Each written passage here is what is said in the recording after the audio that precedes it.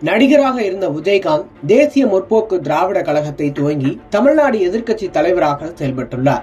தற்போது அவர் ஓய்வில் இருக்கும் நிலையில்தான் தேமுதிக சார்பில் அக்கட்சியின் கொடிநாள் என்று கொண்டாடப்பட்டது.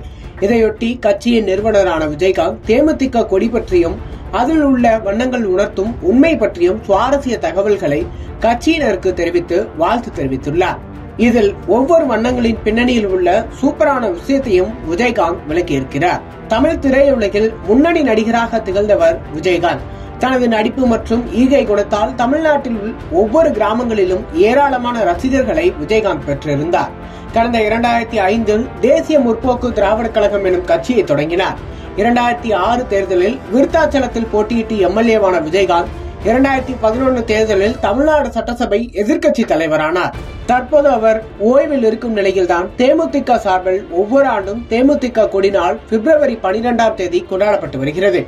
அதன்படி இன்று தேமுதிகவினர் கொடிநாள் கொண்டாடினார்கள்.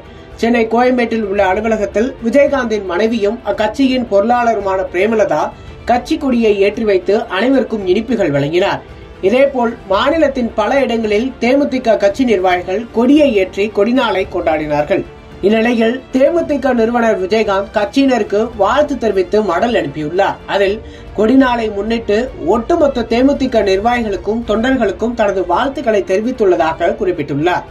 தொண்டர்கள் விருப்பத்திற்கிணங்க விஜயகாந்த் ரசிகர் மன்றம் அமைத்து அதன் மூலம் பல லட்சக்கணக்கான மக்களுக்கு பல்வேறு உதவிகளை செய்து நமது ரசிகர் மன்றம் எல்லா தரப்பு மக்களுக்கும் உதவும் வகையில் நற்பணி இயக்கமாக செயல்பட்டு வந்தது என்றும் தொண்டர்களின் விருப்பத்திற்கு இணங்க இரண்டாயிரம் ஆண்டு புரட்சி தீபம் தாங்கிய மூவர்ண கொடியை ரசிகர் நற்பணி மன்றத்திற்காக பிப்ரவரி பனிரெண்டாம் நாள் அறிமுகப்படுத்தப்பட்டது என்றும் அவர் குறிப்பிட்டுள்ளார்.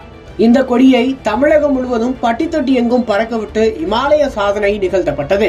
கட்சி கொடிக்கு என்று ஒரு நாளை அறிவித்து அதனை கொண்டாடும் ஒரே கட்சி தேமுதிக மட்டும்தான் என்றும் அவர் குறிப்பிட்டுள்ளார்.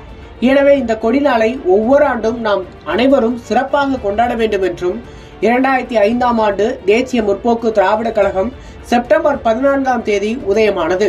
நமது நற்பணி மன்ற கொடி கழக கொடியாக மாற்றப்பட்டது என்றும் பழைய நினைவுகளை அவர் நினைவு கூர்ந்துள்ளார். இந்நிலையில் கொடியில் இடம்பெற்றுள்ள வர்ணங்களுக்கு கழகத்தின் கொள்கையும் தமிழகத்தில் நிகழ வேண்டிய மாற்றத்தையும் குறிப்பதாகும் என்றும் குறிப்பிட்டுள்ளார். கொடியில் உள்ள சிவப்பு நிறம் சாதி மதம் இனம் மொழி என்று எல்லா பேதங்களுக்கும் அப்பாற்பட்டு நாம் அனைவரும் இரத்தத்தால் ஒன்றுபட்டவர்கள். ஒரே இனம் ஒரே குலம் என்பதை வலியுறுத்தும் வளமான தமிழகத்தை உருவாக்கி அனைத்து மக்களின் வாழ்க்கை தரத்தை உயர்த்தி வறுமை கோட்டிற்கு கீழ் மக்களே இல்லை என்ற நிலையை நிரூபித்து தமிழகத்தை வளர்ச்சி பாதையில் அழைத்து சென்று வளமான தமிழகத்தை மங்களகரமாக உருவாக்குவதே மஞ்சள் நிறமாகும் என்றும் அவர் குறிப்பிட்டுள்ளார். கருமை நிறம் என்பது வறுமை லஞ்சம் ஊழல் போன்ற இருள் தமிழகத்தை சூழ்ந்துள்ளதை குறிக்கும் நிறமே கருப்பாகும். மூவர்ண கொடியின் மையத்தில் அமைந்துள்ள புரட்சி தீபம் தமிழகத்தில் உள்ள இருளை அகற்றி மாற்றத்தை உருவாக்கி நல்ல ஒரு மக்களாட்சியை கொண்டு வந்து புரட்சியை ஏற்படுத்தி தமிழகத்தை ஒளிமயமாக்குவோம் என்பதை குறிப்பதாகும் என்றும் குறிப்பிட்டுள்ளார். தமிழகத்தில் உள்ள நதிகளை இணைத்து நீல புரட்சி ஏற்படுத்தி விவசாயத்தையும் தொழில்களையும் மேம்படுத்துவோம் என்பதையும் குறிப்பதாகும் என்றும் விஜயகாந்த் தனது கடிதத்தில் குறிப்பிட்டுள்ளார்.